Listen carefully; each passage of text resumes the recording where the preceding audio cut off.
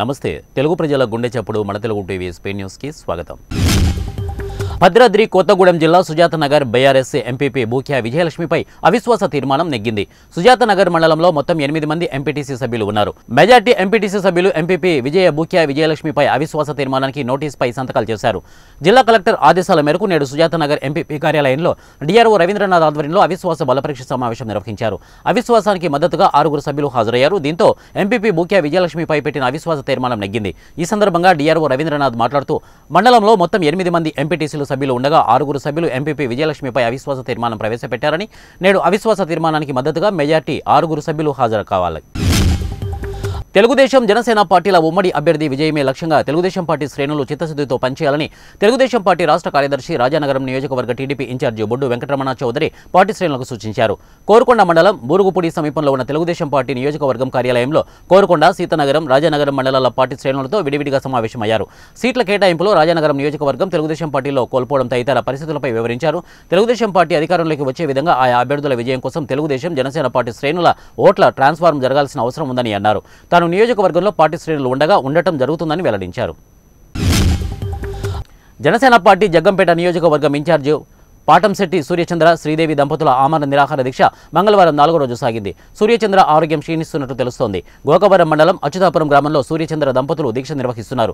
గత ఎన్నికల్లో జనసేన పార్టీ తరపున పోటీ చేసి ఓటమి చెందినప్పటికీ నిరాశ నిస్పృహలు లేకుండా గడిచిన ఐదేళ్ళలో ప్రజల్లోనే ఉంటూ సేవా కార్యక్రమాలు నిర్వహిస్తూ ఈసారి ఎన్నికల్లో ఈ టికెట్లు ఆశించి తెలుగుదేశం సీట్ల సర్దుబాటులో టికెట్ కోల్పోయిన సూర్యచంద్ర దంపతులు నిర్వహిస్తున్నారు. పోలీసులు దీక్ష శిబిరం వద్ద మోహరించారు. ఈ రోజు పార్టీ శ్రేణుల సమావేశం తర్వాత పాటంశెట్టి సూర్యచంద్ర తన నిర్ణయాన్ని వెల్లడించే అవకాశాలు కనిపిస్తున్నాయి. చిత్తూరు జిల్లా కుప్పం మండల పరిధిలోని పైపాల్యం గ్రామంలో మంగళవారం ఏనుగు దాడిలో వ్యక్తి గాయపడిన ఘటన చోటు చేసుకుంది.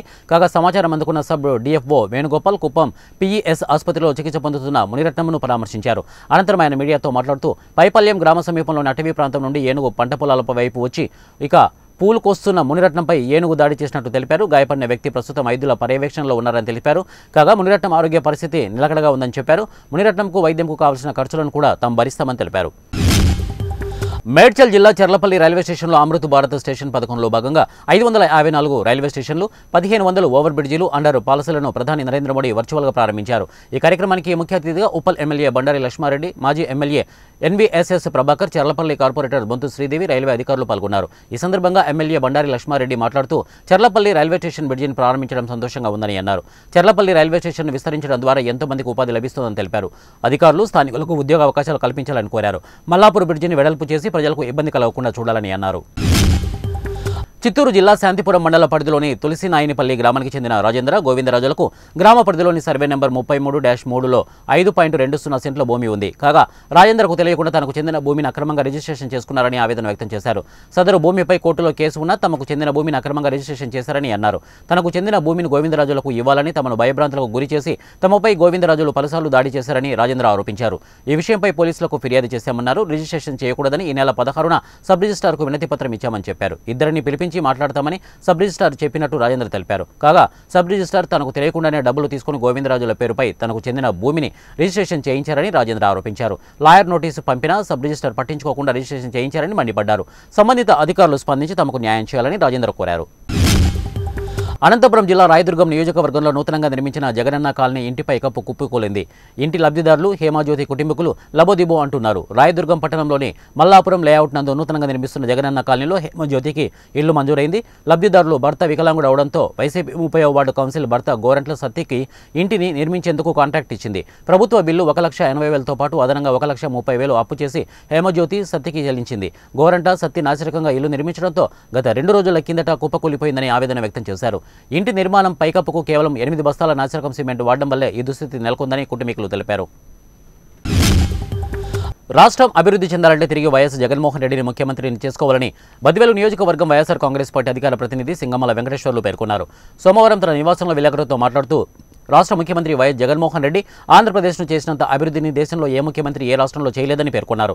తన సుదీర్ఘ పాదయాత్రలో రాష్ట్రంలోని ప్రతి జిల్లాను ప్రతి నియోజకవర్గాన్ని ప్రతి మండలాన్ని దర్శించి దగ్గరుండి ప్రజల కష్టాలను చూసి తనకు అనుగుణంగా మేనిఫెస్టోను తయారు చేసి నర్వట్నాల పథకాల ద్వారా రాష్ట్రంలోని ప్రతి ఒక్క ఇంటికి ఏదో ఒక పథకం ద్వారా లబ్ధి చేకూరే విధంగా పథకాలు రూపొందించి రాష్ట్రాన్ని అభివృద్ధి పరిచారని పేర్కొన్నారు.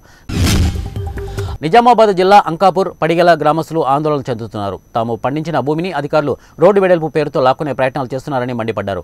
తమ భూమి పోతే తాము ఆత్మహత్య చేసుకుంటామని హెచ్చరిస్తున్నారు. అయితే బైపాస్ రోడ్డు తాము పండించే భూములను అధికారులు లాక్కుంటున్నారని ధర్నాకు దిగారు గ్రామస్తులు. అయితే తాము ఎంతో కాలంగా ఈ భూములను నమ్ముకుని జీవిస్తున్నామని కానీ బైపాస్ రోడ్డు వేయడం వల్ల తమ మూడు నాలుగు ఎకరాల భూమిని కోల్పోతున్నామని పాత రోడ్డుని విస్తరించాలని కోరుతున్నారు. సర్వే అధికారులు రెండు రోజులు గడువు ఇచ్చారని పాత రోడ్డుని విస్తరించాలని పంట పొలాల్లోనే బైపాస్కి ఒప్పుకునేది లేదని అన్నారు రైతులు. ఎన్టీఆర్ జిల్లా వీసన్నపేట మండల కేంద్రం గాంధీ బొమ్మ సెంటర్లో మహాత్మా గాంధీ ఇందిరాగాంధీ రాజీవ్ గాంధీ విగ్రహాలకు పుల్లల లారీ తగలడంతో మూడు విగ్రహాలు దెబ్బతిన్నాయి. పట్టణ కాంగ్రెస్ పార్టీ అధ్యక్షులు గుడ్డల రాంబాబు మాట్లాడుతూ విగ్రహ కమిటీ సమావేశం ఏర్పాటు చేసి నూతన విగ్రహాల ఏర్పాటుకు యుద్ధ ప్రాతిపదికన చర్యలు తీసుకుంటున్నామని అన్నారు. ఇరవై సంవత్సరాలుగా ప్రజలు పడుతున్న కష్టాలను చూసి చెల్లించిపోయిన పెదకూరపాడు శాసనసభ్యులు నంబూరి శంకర్రావు వెంటనే బెల్లంకొండ కొత్తపాలెం గ్రామాల మధ్య ఐదు కిలోమీటర్ల తారు రోడ్డును ఒక కోటి రెండు లక్షల రూపాయలతో నిర్మించారు.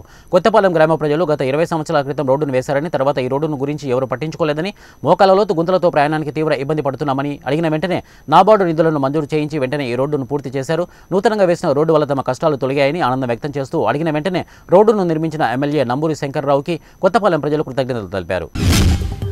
శ్రీశైల క్షేత్రంలో జరగనున్న మహాశివరాత్రి బ్రహ్మోత్సవాలను పురస్కరించుకొని అరణ్య మార్గంలో శ్రీశైలానికి కాలినడకన వెళ్ళే భక్తుల నుంచి అటవీ శాఖ నడక ఛార్జీల పేరిట పది రూపాయల చొప్పున వసూలు చేస్తున్నామని వివిధ పత్రికల్లో వార్తలు వచ్చాయని అదంతా అబద్ధపు ప్రచారమని సబ్ డిఎఫ్ రామ్ సింగ్ మీడియాకు వెల్లడించారు. వారు మీడియాతో మాట్లాడుతూ గతంలో వసూలు చేశామని అయితే శనివారం నుండి నిలుపుదల చేశామని వారు అన్నారు అంతేకాకుండా భక్తులకు పలు సూచనలు జాగ్రత్తలు ఇచ్చారు. వెంకటాపురం దాగలుటి తదితర ప్రాంతాల్లో ఎంట్రీ పాయింట్ వద్ద టైగర్ రిజర్వ్ ప్రాంతంలోకి ప్రవేశించే యాత్రికులందరినీ క్షుణ్ణంగా తనిఖీ చేయడం తద్వారా వారు ఎలాంటి ఆయుధాలు తీసుకెళ్ళకుండా నిరోధించడం అగ్గిపుల్లలు లైటరు సిగరెట్లు బీడీ పేలుడు పదార్థాలు మధ్య మొదలైనవి నాగార్జున సాగర్ శ్రీశైలం టైగర్ రిజర్వ్ ఇప్పటికే ప్లాస్టిక్ ఫ్రీ జోన్గా ప్రకటించబడింది. మరియు ప్లాస్టిక్ వాడకం జనవరి రెండు వేల ఇరవై నాలుగు నుండి పూర్తిగా నిషేధించబడింది. కాబట్టి ప్లాస్టిక్ ప్లాస్టిక్ వస్తువులు శిథిలాలు కుళ్ళిపోని వ్యర్థాలు ప్లాస్టిక్ సీసలు ప్లాస్టిక్ కవర్ మొదలైనవి అభయారణ్యం లోపలికి తీసుకెళ్ళడం నిషేధం. ఈ కార్యక్రమంలో శ్రీశైలం రేంజ్ ఆఫీసర్ నరసింహులు సిబ్బంది తదితరులు పాల్గొన్నారు.